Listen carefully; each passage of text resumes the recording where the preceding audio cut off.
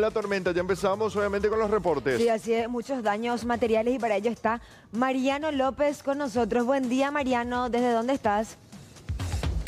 Hola Luchi, hola Chiche. Hola, hola. Estamos acá en Pirizal y 12 de octubre. Es prácticamente a una cuadra de General Santos y Pirizal, conocerán ustedes, es una calle que muchas veces sirve de opción alternativa para evitar o en lo que es la parte de Fernando de la Mora, del otro lado también en la zona de Félix Bogado.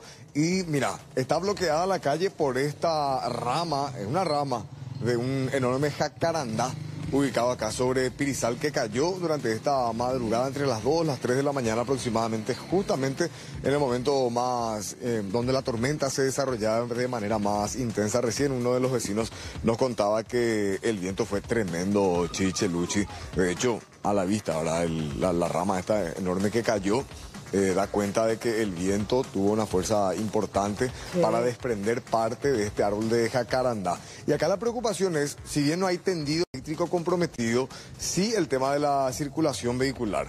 No se puede pasar porque increíble es, justito todo lo que es la parte de la calzada bloquea este enorme pedazo ¿verdad? que cayó del árbol de jacarandá. Entonces los vehículos acá atrás van a ver ustedes cómo llegan hasta acá porque te digo, es una vía alternativa siempre utilizada, pero llegan prácticamente a la media cuadra y tienen que maniobrar para salir y ver la manera de reencauzar y redireccionarse hacia la avenida General Santos. Más que nada también aquí el aviso para la gente de la municipalidad de Asunción, que es la que siempre tiene su cuadrilla presta para poder ir despejando allá otro vehículo que está maniobrando.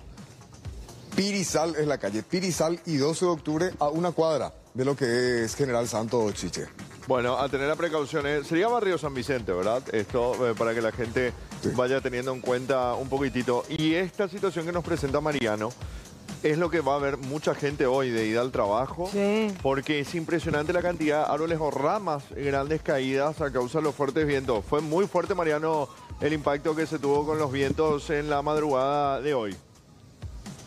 Sí, entre las dos, las tres, dice que llegó aparentemente al momento de eh, mayor intensidad el viento, ¿verdad? Nosotros justamente cuando veníamos hacia acá, también vimos o parte del cableado eh, caído, ramas, como decís, también que volaron por diferentes zonas y ah, también casos como este, ¿verdad? Donde sí el perjuicio es un poco mayor debido a que cierra y bloquea totalmente la circulación. Entonces, para que tenga en cuenta la gente, barrio San Vicente, sobre Pirizal, 12 de octubre, hay que venir a con motosierra, porque Eh. tu Tuisha, mira acá llega todito una camioneta, Sí, sí. ahí llega todito un vehículo, llegan parece Día. pensando que van a encontrar por dónde pasar, Eh, Sí. la- la pero no hay forma, ahí va a maniobrar y va a, re- va a retornar. Sí. No, o sea que increíble, justito toda la calzada bloquea, entonces no, no hay forma. Si van a tener que hacer esto, retomar y ver otra vez por dónde moverse. Esto seguro va a atrasar a mucha gente que está yendo a la oficina. Sí. Por favor, a todos los jefes que Sí. tengan consideración, según está- seguro están viendo el noticiero.